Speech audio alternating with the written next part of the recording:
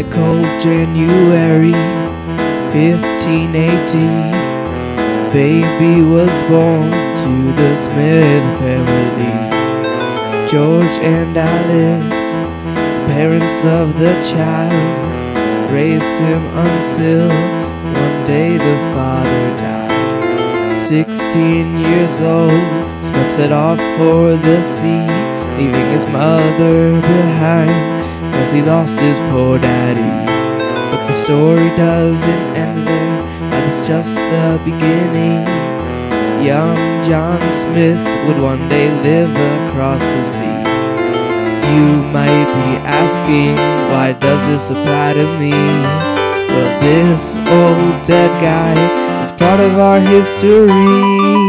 John Smith affected America in many ways, mostly in the state of Virginia. Jamestown was dying, but then he came across the sea. He said, He who does not work, neither shall he eat. We remember him for these words, but he spoke many more. And now you will learn them, cause that's what this song is for. Let's start from the beginning, January 1580. His mother and father were proud to see that their eldest son was healthy. He went to school in a nearby town but returned after a few years. Boarding schools where he stayed and learned, developing a brain between his ears. Locally, he apprenticed at a merchant's shop. Thomas Sewell was his master's name, but all that had to stop. Unfortunately, disaster struck his home. When his father died, his education was done. He took to the seas at 16 years old, heading off to foreign land. He volunteered for Dutch independence, ironically based in France. Two years later, he set off once again to find his own way by his own hands. Now, man he took to the seas again. Mediterranean, he worked as a merchant. He never stayed in one place for long, pacing the floor all night long, cause he couldn't sleep. Who is it gonna be? Two years past forsaking the seas, he decided to leave. Where's it gonna go now? East, west, north, south, always fighting. He went to Austria, fighting the Turks. The long war found him fighting valiantly. All those promotions flew by, you see. But one battle was his downfall. His cameras watched it fall, wounded and hurt, enslaved and captured, sold to a Turk in a turban who then passed on along. As a present for her sweetheart all along. But in a twist of events he couldn't have foreseen, this girl stepped into the scene and saved him after falling in love. She didn't want to see him hurt, so she sent him away to her brother for training. Of course, Johnny missed home any way possible. He would get there again. Murdering the girl's brother, he escaped in the night, fled into Russia and Poland in his right. What was going to happen to him? Would he survive or would his life end? This was a time when he was sorely afraid. All of Europe stood in his way, between him and his beloved home. Note that at this time there were no cell phones. Fortunately, with grace and skill, he made his way back home before long. Little did he know what something was coming. His greatest adventure was almost up and running. There was an opportunity to sail across the seas to the foreign lands, new and clean. Would he take it and live out his destiny? Or would he refuse and be lost in history? He took the chance and signed up for the journey. The reason why we remember him today is because he didn't refuse.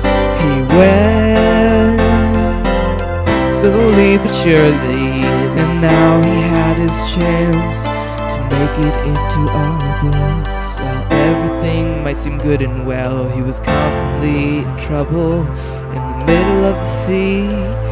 He was charged with concealed mutiny. Was this true? We don't know.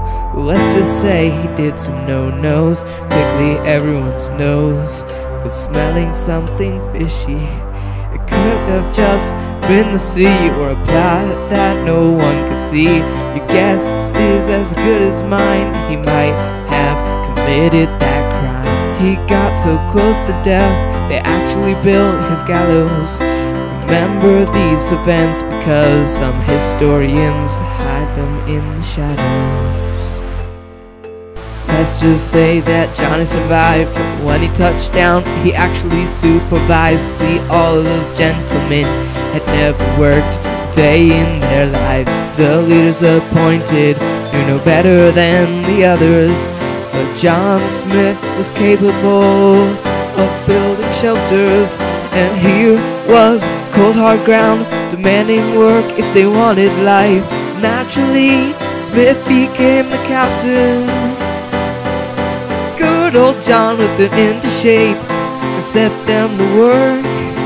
Oh, they didn't want to work, they acted as if they were allergic. John Smith wrote that he was most beloved, while all those other men could only covet his ability to lead lead the settlers out of poverty. By fighting Native Americans, he earned their respect. English guns they found could kill easily, for showing them their fate if they didn't obey. John Smith forced them to open up and trade. Unfortunately, he only instilled fear in the natives. Instead of camaraderie, he made them enemies. He called them devils, savages, did not understand their customs, painted black, red, white. He only saw their skin color, which wasn't white. Racism was deep in his veins, he also looked down on them. He saw primitive groups fighting desperately to survive in the land. And unfortunately, over the years of numerous fights, his colony was one of the main reasons that almost all of them died. In summary, he helped Jamestown in many ways, like opening trade. However, all of this was at a large expense using blood he paid. On the upside, he had the men build more than tents. They only survived when he was around until he experimented with some tobacco in town. After that point, the colonists were on their own. Smith, wounded, to go back home, where he decided to come back five years after 1609. He tried and tried, but failed every time, until finally he decided there was no more time. So he went to England and stayed there now. Died at 51, year 1631. He did as much as anyone working under the old Earth's sun. The lesson from his story is a simple one. He helped found Jamestown and the colonies. He also caused problems with the natives who started to hate him. The only reason he lived so long is because of Pocahontas thought her father wrong. While he did good, he also did bad. When I heard this, it made me a little sad. But the important thing to remember is that he's in our history and helped people get here, including you and me.